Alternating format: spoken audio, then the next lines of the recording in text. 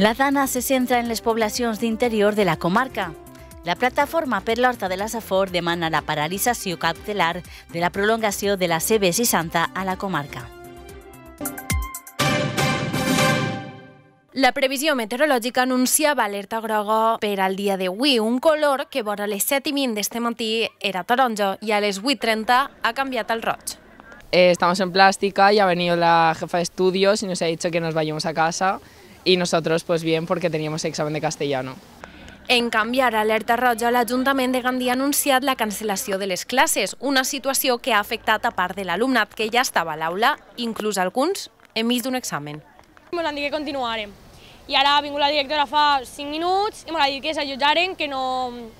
que no es podíem estar i que estaven tot l'institut desallotjat i que me n'anàrem situació complicada per a molts pares i mares que han hagut d'organitzar-se per a recollir els seus fills i filles de centres educatius. També els autobusos escolars han hagut de tornar a per l'alumnat. Els autobusos han reaccionat immediatament, han vingut immediatament per als alumnes, les famílies també han vingut per a, per alumnes, i entonces, pues, bueno, la policia està molt pendent de nosaltres, nosaltres tenim 2.400 alumnes, 230 professors i 20 persones d'administració i serveis, i és un poble que tenim que desallotjar. La decisió pot ser no hagi agradat a algunes persones, però des de l'Ajuntament asseguren que és el protocol estipulat davant aquestes situacions a veure, les decisions no les prenc ni jo, ni el cap de policia, ni l'alcalde de forma unilateral. Així hi ha un protocol que marca que quan hi ha una alerta roja és quan se suspenen les classes a la nostra ciutat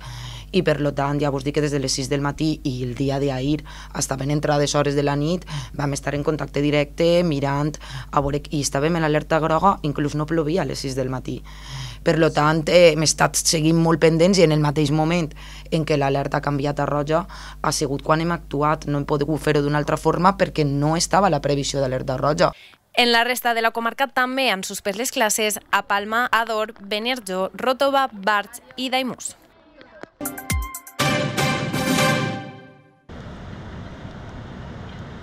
Fort onatge i vent que ha mogut amb força els arbres. On s'ha notat els efectes de la gota freda ha sigut en la costa. AEMET alertava ja ahir avís per a fenòmens costers amb vent de l'est i nord-est i amb oleatge de 3 a 4 metres. Esta situació ha provocat que els pescadors no hagin pogut navegar.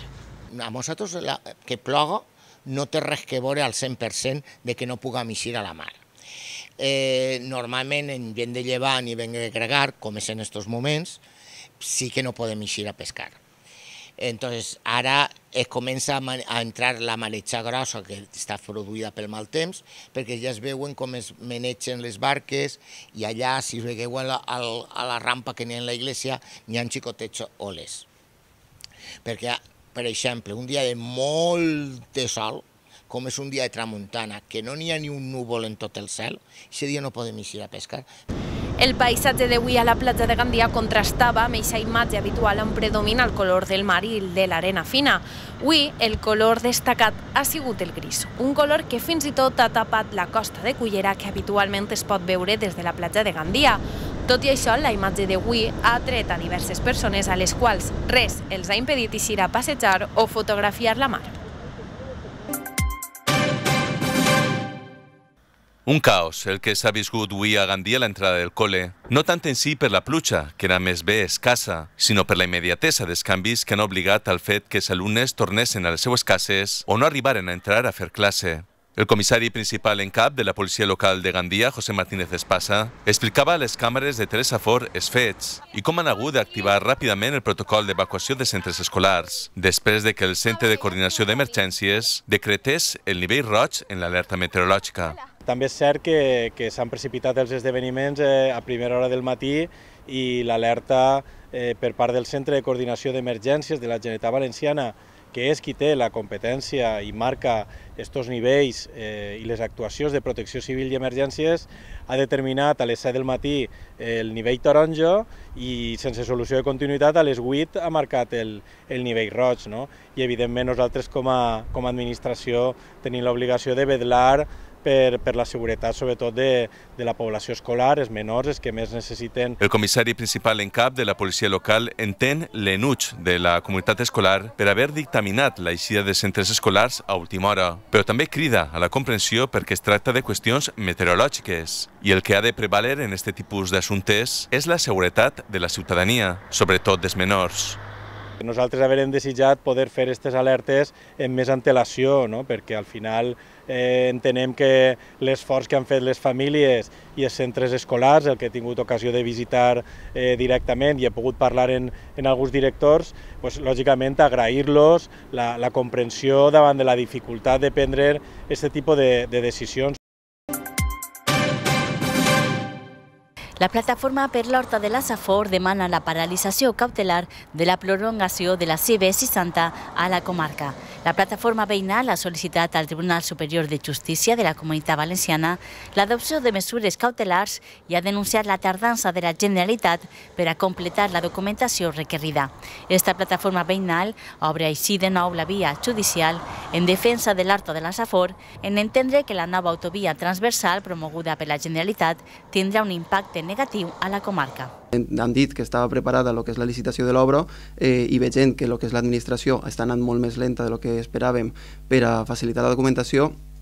eh, l'equip jurídic ens va avisar de que això, de que havien de ficar mesures cautelars que havien d'evitar que, que se continuarà avançant en el procediment hasta que no tinguem, fins a que no tinguem eh, tota la documentació clara. Frutas Amador i Opel i Citroën Alcodar Motors Gandia patrocinen els esports.